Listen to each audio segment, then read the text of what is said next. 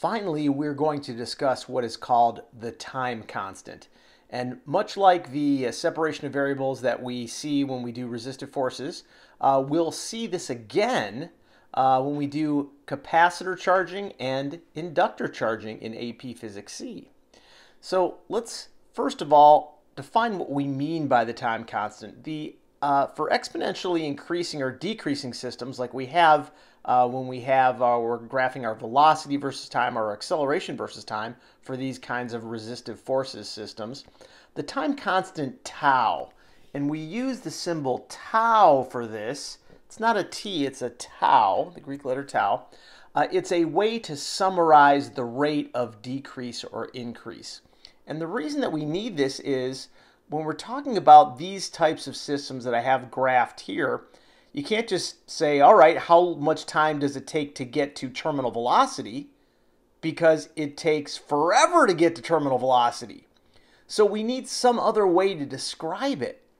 Um, because this will, neither of these, uh, this one on the left right here, this, this one will actually never get to rest. It approaches rest, but it never gets there. Similarly, this never gets to terminal velocity.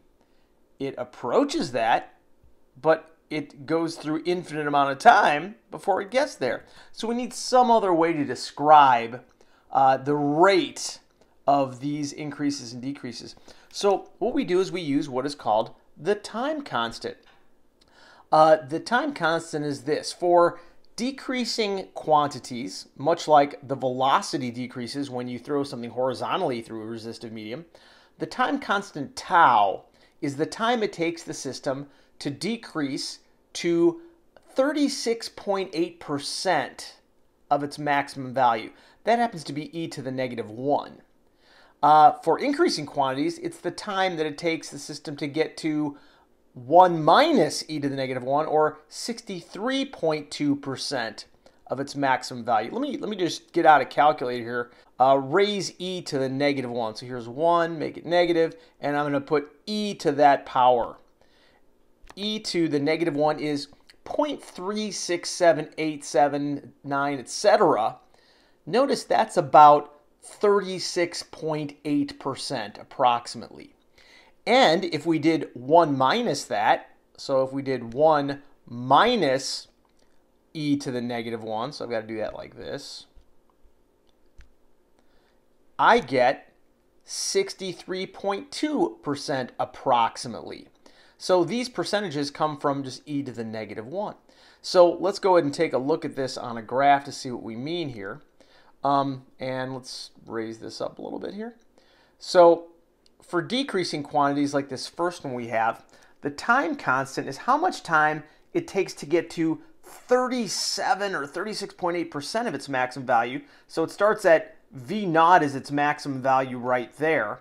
And about there is, this is approximately 0.368 of v naught, initial velocity. The time that it takes to get that to that point is what we call the time constant, tau. So it's how much time it takes to get to 36.8% of the maximum value. Uh, for decreasing quantities, when it's increasing, this value right here is 0.632 of V terminal, which I'll represent with V sub t, that value right there, it takes about one time constant to get to that point. The longer it takes to get to 36.8% of V initial, uh, the longer this whole decay takes. And similarly, the longer it takes to get to 63.2% of V terminal, the longer this entire motion right here. So this is a way that we can kind of express how long this process takes. It never gets to zero over here, nor does it ever get to terminal velocity over here, but we can have a definite time where it gets to 36.8% of the initial velocity over here, or in this case, 63.2% of the terminal velocity right here. And that's what we define as tau. Now let's take a closer mathematical look at this to extremely simplify this whole idea let's just look at it this way. The time constant, what is it? For exponentially increasing or decreasing systems, the time constant is just the time tau at which the exponent of e will be negative 1. That's all it is. Let's take a look at, with an example.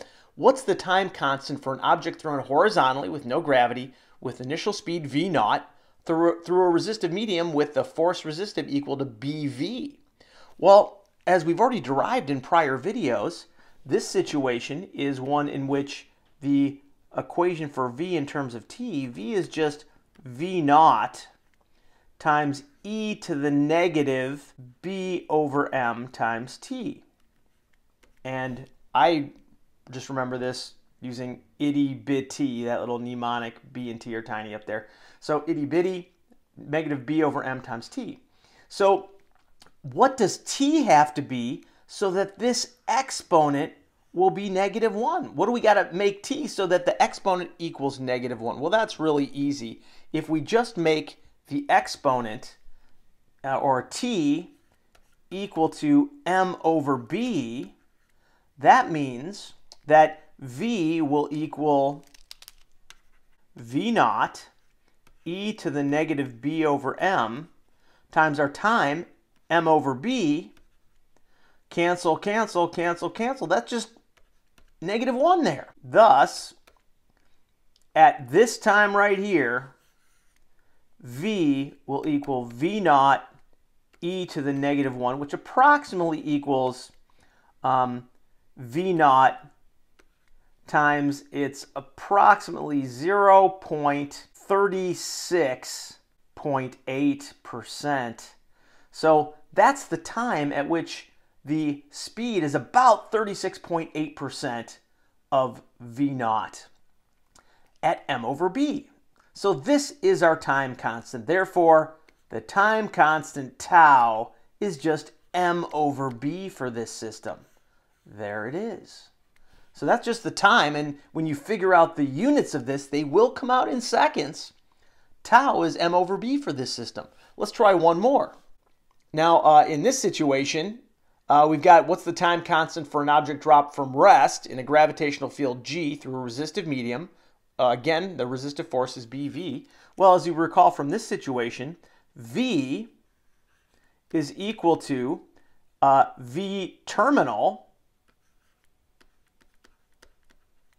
times 1 minus e to the negative b over mt.